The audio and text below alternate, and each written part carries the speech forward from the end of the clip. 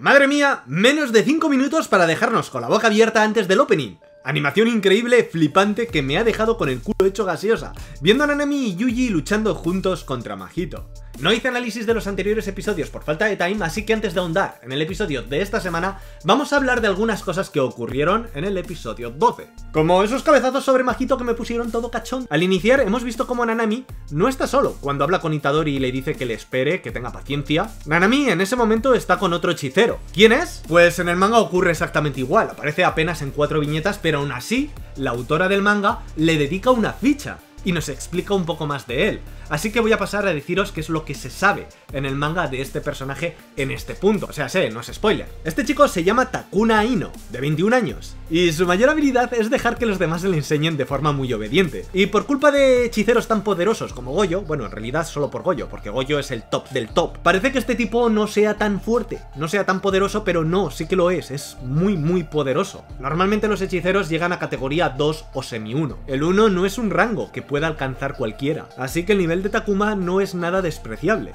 Sabemos que ha colaborado con Nanami en otras ocasiones y que le tiene un profundo respeto. Además también está obsesionado en conseguir el reloj de pulsera de Nanami. No te descuides Nanami, que te lo roban. También ese momento confesión de Junpei donde no quiere creer que esos que le han hecho lo que le han hecho a su madre tienen corazón, que son humanos. Ser consciente de eso es perder cualquier esperanza sobre la humanidad. Saber que detrás de esos actos hay humanos con corazón y sentimientos a la verga todo. Ahora es cuando Jujutsu cada vez empieza a coger más forma, más personalidad. Y empieza a sumergirse en las emociones de los personajes, sus motivaciones y todo eso que a mí me gusta ver. Y viendo por todo lo que Junpei ha pasado, cómo se siente, todo ese odio que puede sentir justificado hacia la humanidad y que él no quiere no quiere sentir eso, o sea, él se niega a creer que la humanidad es así. Me emociona ver cómo Yuji Tadori compensa la balanza, cómo se muestra súper comprensivo, empático, y es capaz de recibir daño como diciendo, me rindo a ti, esto que me haces no es nada comparado con todo lo que tú has tenido que sufrir, y me lo merezco por no haberme dado cuenta antes. Eso descoloca totalmente a Junpei, y es que además Yuji está diciendo precisamente lo que Junpei quiere escuchar. Está acertando con todas las palabras. Entiendo cómo te sientes, no vengo a juzgarte, no vengo a castigarte. Solamente quiero ayudarte. Y además no solo yo, también tengo compañeros que te van a entender que nos van a ayudar a encontrar a ese hijo de la gran que te ha hecho esto y juntos vamos a castigar a ese hijo de la gran chingada. Vas a poder tomar tu venganza pero con nuestra ayuda, vas a tener nuestro apoyo. Eso es lo que Junpei quiere escuchar. No quiere escuchar a alguien que le diga, tío, no estás haciendo bien, la venganza nunca es buena, vamos a calmarnos. No, no quiere escuchar eso. Me encanta, o sea, es que Yuji en ese momento dice todo lo que debe decir, todo lo que Junpei quiere escuchar. Bueno, luego tenemos ese momento en el cual llega Majito y Tadori le dice a Junpei, lárgate que este tipo es peligroso. Y Junpei le dice, no, que es muy majito. voy, a, desgastar el chiste. Este tipo no es una mala persona y entonces se queda ahí, en shock. Primero, lo que todo el mundo piensa en ese momento, creo yo, es que Vale, Junpei acaba de darse cuenta que Majito no es una persona, es una maldición y solamente puede hacer cosas malas. Pero no es lo que Junpei está pensando en ese momento. O sea, si tú creíste que en ese momento Junpei se da cuenta que Majito no puede comportarse como una persona porque no es una persona, es una maldición, estás equivocado. Ahí Junpei se está dando cuenta que Majito es quien ha asesinado a su madre. Se da cuenta que Majito es capaz de hacer cosas atroces, que lo ha hecho ya, que está jugando con los humanos. Si hay alguien capaz de hacer lo que le han hecho a su madre, ese es Majito. Por eso ya ahí Majito dice, chaval, has pensado demasiado, has pensado demasiado, ya no me sirves, ya te hago amorfo y a darle caña con tu nueva forma a Itadori. Pero Junpei dura bien poquito, bien poquito. Junpei ahí F por Yupei. Pero ver a Yui en ese momento repartir hostias como panes y hacerle daño a Majito porque le hace daño, porque tiene el alma de su cuna y le afecta cada golpe. Sus golpes están malditos y están malditos con el poder de su cuna. Es la puta hostia. Me puso. Todo eso me puso. La verdad que fue genial. Y además haciéndolo por sí mismo, porque su cuna se niega a ayudarle. Vemos ahí como las dos maldiciones empiezan a descojonar de Yuji. Y sí, es verdad, no hay que olvidarse que son maldiciones. El mismo Yuji se da cuenta. Joder, es que, es que son maldiciones. ¿Qué cojones me va a ayudar esta maldición? Pero no podemos negar una cosa, y es que aquí Sukuna está haciendo como de maestro cruel. No puedes siquiera salvar una vida por ti mismo, me necesitas para esto, tan mediocre eres. Así que es como que Yuji evoluciona, da un salto. Y se saca las castañas del fuego el solo. Solo entre comillas, porque como digo, sus golpes son efectivos gracias al poder de Sukuna, y no es lo único que le da ventaja. Majito tampoco puede transformar a Yuji. Para mutarlo, tiene que tocar su alma, y cuando trata de hacerlo, se topa con el alma de Sukuna. Y Sukuna se cabrea un montón, obviamente. Sukuna le dice, oye, mierdecillas, ¿a dónde vas? Lo que nos deja claro que Sukuna no está dispuesto a ayudar a Majito. Y no es solo que Sukuna prefiera el cuerpo de Itadori porque sabe el potencial que tiene, sino que además conoce también las intenciones de Majito. Que lo de que las maldiciones tomen el control del mundo está muy bien incluso para Sukuna, pero que Majito quiera controlar a Sukuna, por ahí no, por ahí no. Sukuna es incontrolable. Sukuna quiere dejar claro en todo momento que él tiene el control y que Itadori es su juguete. ¿Os habéis dado cuenta cómo Itadori cambia su discurso de voy a exorcizar a voy a matarte? La evolución de Yuji Itadori en estos episodios ha sido alucinante. Cómo ha pasado de ser un niño que no se atrevía a matar a humanos, que al final es un salto que tiene que dar tarde o temprano como hechicero, aquí hemos visto en estos dos episodios ¿Cómo da ese salto? ¿Cómo está dispuesto a cualquier cosa siempre que el medio justifique el fin? Siendo consciente sobre todo de la realidad, que es algo que dicen mucho, ¿no? Itadori está en un sueño, no sabe lo que es real, lo que no es real. Él acaba siendo consciente de todo eso y se da cuenta de que hay personas que no puede salvar y que a veces es mejor darles una muerte digna. Que ya hablaremos de eso, de las muertes dignas. Y llegamos al épico episodio de esta semana. Hemos tenido en este episodio un espectáculo visual sin precedentes, o sea, sé qué animación, mapa, se ha sacado la... Ojalá ojalá nos despliegue su poderío con Shingeki no Kyojin como lo está haciendo con Jujutsu Kaisen porque es flipante. Majito al borde de la muerte alcanza el éxtasis que lo lleva a ejecutar por primera vez la expansión de territorio o extensión de dominio. Para quien no sepa qué es eso, aquí o aquí, no lo sé ahora mismo, tenéis un vídeo donde explico además de forma muy guay, lo que es la expansión de dominio. Y en el encierro que conlleva esta técnica solo queda atrapado Nanami. Y tenemos un Remember de Nanami, que yo cuando veo un Remember me da miedo porque digo, vale, Estamos viendo el pasado, van a hacer que empaticemos con él. Y este tío muere, muere. Pero no, no ha muerto, gracias a Dios.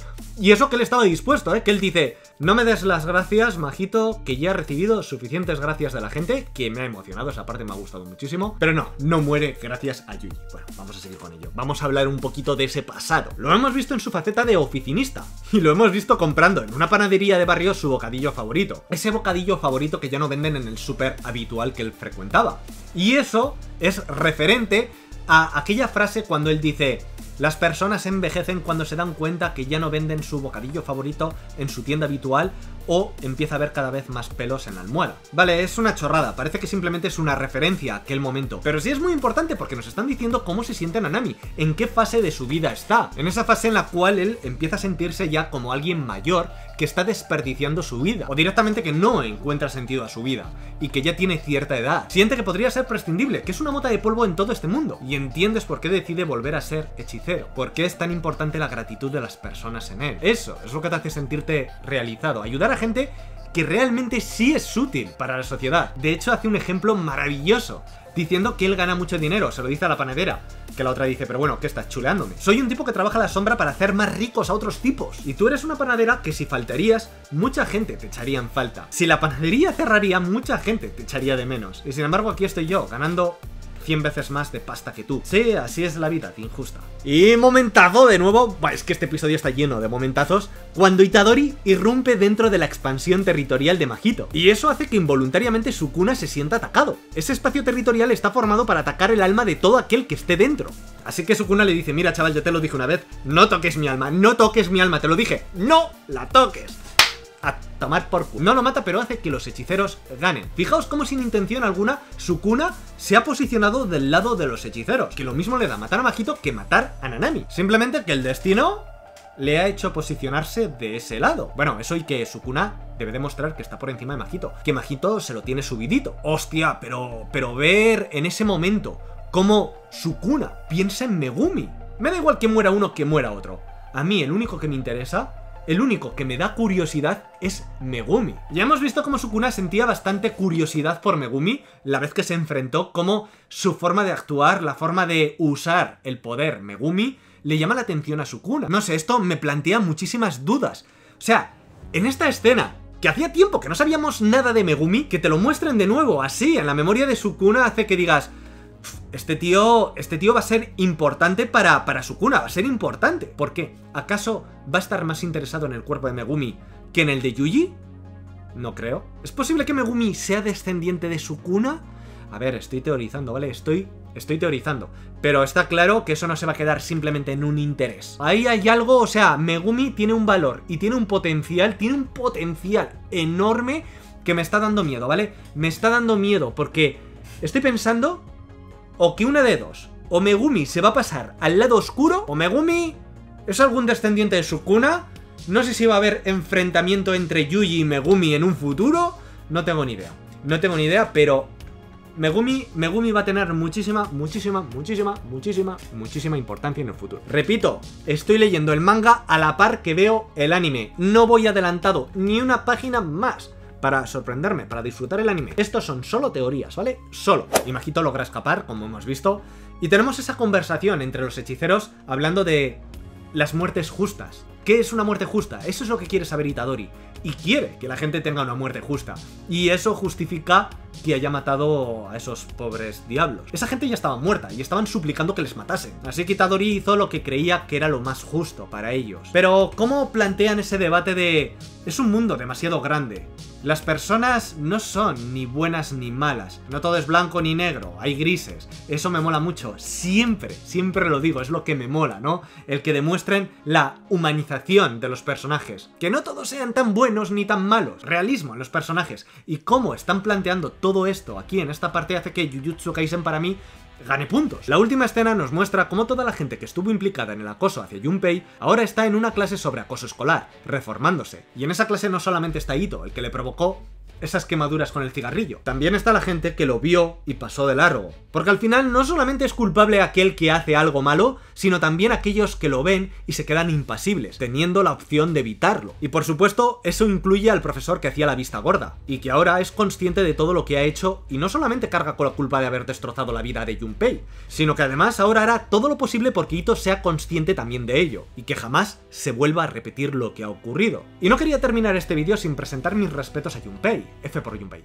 Un personaje que no pudo explotarse todo lo que debía porque su final estaba cerca, algo de lo que la propia autora se arrepiente. Por eso la autora en el manga decide dejar unas notas hablándonos un poquito más de él. Nos cuenta que Junpei Yoshino, de 19 años, cuando estaba en su primer año de instituto, fundó el club de cine con dos amigos más. Ya sabemos que es muy aficionado al cine. Pero el aula en la cual celebraban las actividades del club también era el punto de reunión del grupo de Ito, el matón que luego le hizo la vida imposible. Junpei fue el único miembro del club que les plantó cara, y por eso a partir de ahí sufrió el acoso escolar por parte de estos individuos, yéndose a tomar por culo el club de cine y cualquier tipo de contacto que Junpei pudiese tener con sus amigos, hasta el punto de dejar el instituto durante el segundo año. Y es curioso ver cómo Junpei, que actuó como debía actuar, plantándole cara a alguien que estaba haciendo algo que no debía, ha acabado como ha acabado. Lo que hizo supuso su ruina, acabó con él, o sea, le he llevado a donde está, a la muerte. Y tuvo una vida de mierda. Y no solamente él, también afectó a su madre. Todo ha ido atado. Todo. O sea, su destino ha ido atado a esa acción heroica. Junpei es alguien que acabó con la vida destrozada, acumulando odio, porque es lo único que recibió. Qué triste, pobre Junpei. Y así acaba este episodio con este cierre de arco de una forma perfecta, porque justo vienen dos semanas de pausa. Es algo que ocurre todas las navidades. No es que Jujutsu Kaisen acabe aquí, ni siquiera esta temporada, o sea, se continúa en enero, pero sí que ahora mismo se va a dar un descanso de dos semanas, así que ha hecho un cierre perfecto. Igualmente espero que te haya gustado este vídeo, si es así, déjate un like, subscribe y nos vemos familia en el próximo. Chao.